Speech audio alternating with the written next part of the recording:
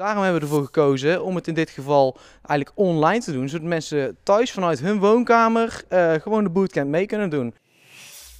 Go! 1, 2, 3, 4, 5, 6. Het is uh, een uh, Zoom-call noemen we het dan. Het is een soort van Skype, maar dat, dat iedereen dus iedereen ziet en hoort. En nou ja, zo. Je krijgt een code, je logt in en, en je doet mee.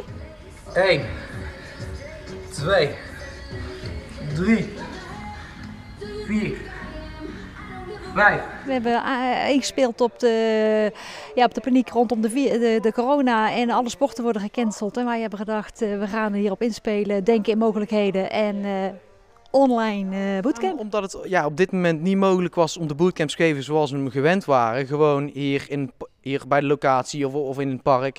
Dat was op dit moment uh, niet verantwoord. Omdat we de verspreiding van het coronavirus uh, niet in de hand willen werken.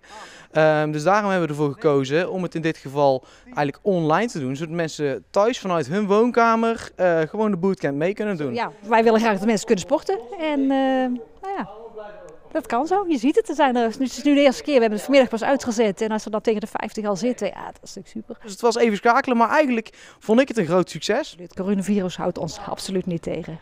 Dank voor jullie aandacht, super. Ik ben benieuwd wat jullie ervan vonden. Tot maandag. Tot maandag. Tot maandag.